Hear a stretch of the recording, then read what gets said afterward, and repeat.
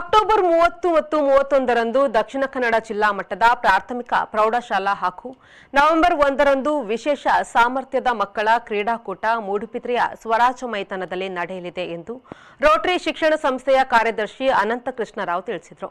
ದಕ್ಷಿಣ ಕನ್ನಡ ಜಿಲ್ಲಾ ಪಂಚಾಯತ್ ಶಾಲಾ ಶಿಕ್ಷಣ ಮತ್ತು ಸಾಕ್ಷರತಾ ಇಲಾಖೆ ಉಪನಿರ್ದೇಶಕರ ಕಚೇರಿ, ಮಂಗಳೂರು ದಕ್ಷಿಣ ಕನ್ನಡ ಕ್ಷೇತ್ರ ಶಿಕ್ಷಣಾಧಿಕಾರಿಗಳ ಕಚೇರಿ ಮೂಡುಬಿದ್ರೆ ಹಾಗೂ ರೋಟರಿ ಆಂಗ್ಲ ಮಾಧ್ಯಮ ಶಾಲೆ ಮೂಡುಬಿದ್ರಿ ಸಹಯೋಗದೊಂದಿಗೆ ಕ್ರೀಡಾಕೂಟ ನಡೆಯಲಿದೆ ಎಂದರು. ಈ ಈ ಕಾರ್ಯಕ್ರಮದ ಬಗ್ಗೆ ಸಾಕಷ್ಟು ಅದರ ಪ್ರಚಾರವನ್ನಾಗಲಿ, ತಮ್ಮ ಮಾಧ್ಯಮದ ಪರವಾಗಿ ಏನೆಲ್ಲ ಮಾಡಲಿಕ್ಕೆ ಸಾಧ್ಯ ಉಂಟ, ಅದನ್ನೆಲ್ಲ ನಮ್ಮದೇ ನಮ್ಮ ತಮ್ಮ ಅದಕ್ಕೆ ಕಾರ್ಯ ಪ್ರವೃತ್ತಿಯನ್ನು ಅದರ ಬಗ್ಗೆ ನೀಡಿ ಈ ಒಂದು ಕಾರ್ಯಕ್ರಮದ ಯಶಸ್ಸಿಗೆ ತಾವೆಲ್ಲರೂ ಕೂಡ ಮುಖ್ಯ ಕಾರಣಕರ್ತರಾಗಬೇಕು.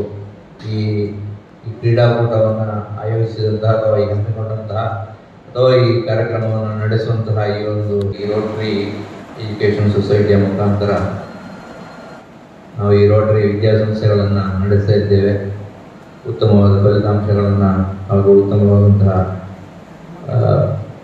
ಕ್ರೀಡೆಗೆ ಸಂಬಂಧಪಟ್ಟಂತಹ ಒಳ್ಳೆಯ ಯಶಸ್ಸಿಯನ್ನು ಕೂಡ ಈ ಮಕ್ಕಳ ಮುಖಾಂತರ ನಾವು ಸಮಾಜಕ್ಕೆ ನೀಡುವುದರಲ್ಲಿ ನಮ್ಮ ಒಂದು ಪಾತ್ರ ಒಳ್ಳೆಯದಾಗಿ ನಡೆದುಕೊಂಡು ಬರ್ತಾ ಇದೆ ಅಂತ ಹೇಳುವಂಥದ್ದನ್ನು ಬಹಳ ಹೆಮ್ಮೆಯಿಂದ ಹೇಳಿ ಇಚ್ಛೆ ಪಡುತ್ತೇನೆ.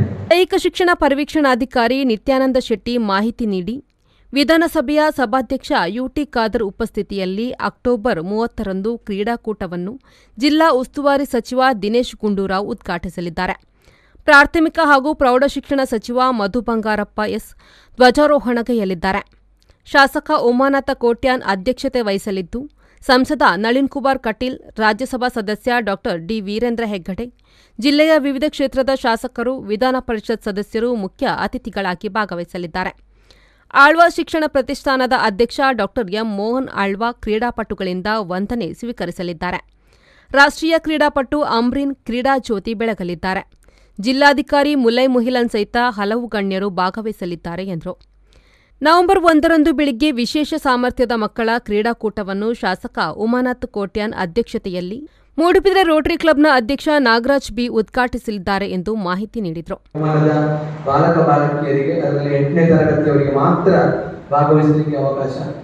ಮೂರನೇದಾಗಿ ಹದಿನೇಳು ವರ್ಷ ವಯೋಮಾನದ ಬಾಲಕ ಬಾಲಕಿಯರಿಗಾಗಿ ಸ್ಪರ್ಧೆ ನಡೆಯಲಿಕ್ಕಿದೆ ಪ್ರಾಥಮಿಕ ಶಾಲಾ ವಿಭಾಗದಿಂದ ಐದು ಓಟದ ಸ್ಪರ್ಧೆಗಳಿರ್ಲಿಕ್ಕಿದೆ ನೂರು ಮೀಟರ್ ಓಟ, ಇನ್ನೂರು ಮೀಟರ್ ಓಟ ನಾನ್ನೂರು ಮೀಟರ್ ಓಟ, ಆರ್ನೂರು ಮೀಟರ್ ಓಟ ಹಾಗೂ ಹರ್ಡಲ್ಸ್. ಅದರ ಜೊತೆಗೆ ನಾಲ್ಕು ಗುಣಿಸು ನೂರು ಮೀಟರ್ ರಿಲೆಯ ಸ್ಪರ್ಧೆ. ಇದು ಟ್ರ್ಯಾಕ್ನಲ್ಲಿ ನಡೆಯುವಂತಹ ಸ್ಪರ್ಧೆ ಆದರೆ, ಇನ್ನು ಫೀಲ್ಡ್ನಲ್ಲಿ ಎರಡು ಎಸೆತದ ಸ್ಪರ್ಧೆ, ಗುಂಡೆಸೆತ ಮತ್ತು ಚಕ್ರ ಎಸೆತ ಎರಡು ಜಿಗಿತದ ಸ್ಪರ್ಧೆ, ಉದ್ದ ಜಿಗಿತ ಮತ್ತು ಎತ್ತರ ಜಿಗಿತ.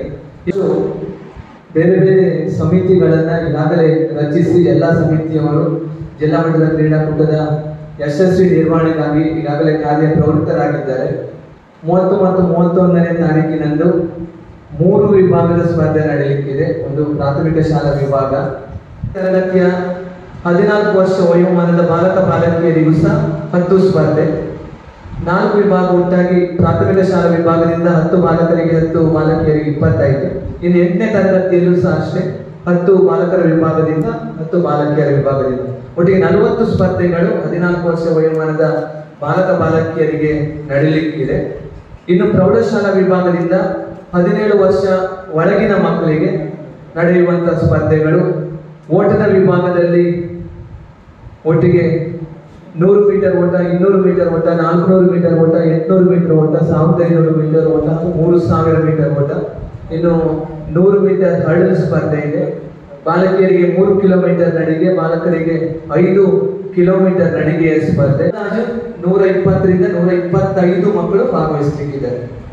ಏಳು ವಲಯ ಸೇರಿ ಸಾಧಾರಣ ಎಂಟುನೂರ ಐವತ್ತು ಕ್ರೀಡಾಪಟುಗಳು ನಮ್ಮ ಈ ಸ್ಪರ್ಧೆಯಲ್ಲಿ ಭಾಗವಹಿಸಲಿಕ್ಕಿದ್ದಾರೆ. ಅದರ ಜೊತೆಗೆ ನಿರ್ಣಾಯಕರಾಗಿ ಸಾಧಾರಣ ನೂರ ಐವತ್ತು ನಿರ್ಣಾಯಕರಿದ್ದಾರೆ. ತಂಡದ ವ್ಯವಸ್ಥಾಪಕರು ಇಡೀ ಜಿಲ್ಲೆಯಿಂದ ಅವರು ಸಹ ಒಂದು ನೂರೈವತ್ತು ಮಂದಿ ಬರ್ಬೋದು. ನೆಕ್ಸ್ಟ್ ಟೀಚರ್ಸ್ ಒಂದು ಇನ್ನೂರು. ಸಾಧಾರಣ ಫಸ್ಟ್ ದಿನ ನಮ್ಮ ಲೆಕ್ಕ, ಲೆಕ್ಕದ ಪ್ರಕಾರ ಸಾವಿರದ ಇನ್ನೂರು ಮಂದಿ ಭಾಗವಹಿಸುವಂತ ನಿರೀಕ್ಷೆ ನಮ್ಮಲ್ಲಿದೆ ಅಂದ್ರೆ ಅಂಕಿಅಂಶದ ಪ್ರಕಾರ ಸಾವಿರದ ಇನ್ನೂರು ಮಂದಿ ಭಾಗವಹಿಸಲಿಕ್ಕಿದ್ದಾರೆ. ಇನ್ನು ಎರಡನೇ ದಿನ ಸ್ವಲ್ಪ ಕಡಿಮೆ ಆಗ್ಬೋದು. ಅಂದ್ರೆ ಕೆಲವೊಂದು ಸ್ಪರ್ಧೆಗಳು ಎರಡನೇ ದಿನ ನಡೆಯಲಿರುವುದು.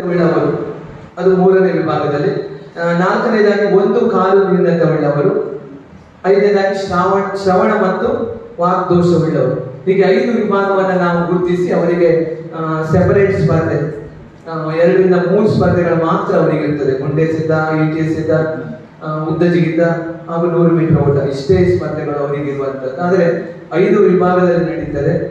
ಇದರಲ್ಲಿ ಸಾಧಾರಣ ಒಂದು ನೂರ ಐವತ್ತರಿಂದ ನೂರ ಅರವತ್ತು ಮಕ್ಕಳು ಭಾಗವಹಿಸುವಂತ ಅಂದಾಜಿದೆ. ಈ ಸಂದರ್ಭ ಕ್ಷೇತ್ರ ಶಿಕ್ಷಣಾಧಿಕಾರಿ ಡಾಕ್ಟರ್ ರಾಜಶ್ರೀ ಬಿ ರೋಟರಿ ಆಂಗ್ಲ ಮಾಧ್ಯಮ ಶಾಲೆಯ ಸಂಚಾಲಕ ಪ್ರವೀಣ್ ಚಂದ್ರ ಜೈನ್ ಮುಖ್ಯ ಶಿಕ್ಷಕಿ ತಿಲಕಾ ಜೈನ್ ಸಂಸ್ಥೆಯ ದೈಹಿಕ ಶಿಕ್ಷಣ ಶಿಕ್ಷಕ ಸುಧೀರ್ ಕುಮಾರ್ ರೋಟರಿ ಪಿಯು ಕಾಲೇಜಿನ ದೈಹಿಕ ಶಿಕ್ಷಣ ನಿರ್ದೇಶಕ ಶಾಹನ್ ಆಡಳಿತಾಧಿಕಾರಿ ನಿತೇಶ್ ಮಾರ್ನಾಟ್ ಶಿಕ್ಷಕ ಗಜಾನನ ಮರಾಠೆ ಸುದ್ದಿಗೋಷ್ಠಿಯಲ್ಲಿ ಉಪಸ್ಥಿತರಿದ್ದರು Premashree V four news Moodbidri